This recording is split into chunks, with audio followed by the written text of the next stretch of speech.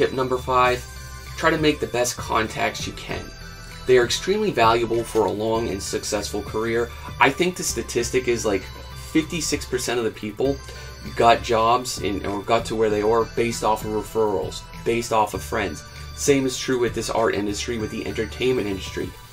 Awesome artists like Raul, he knew Dan Luvisi, who got him springboarded into that cinematic art, and then there's artists like Finnian MacManus, who's super young, I may be even 10 years older than him. He started his own school now. He got a jump start into the film industry really early, and it's because he, he established the right context as early as he could.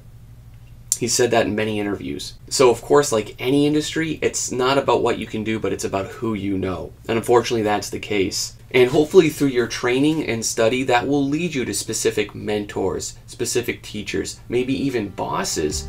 These people are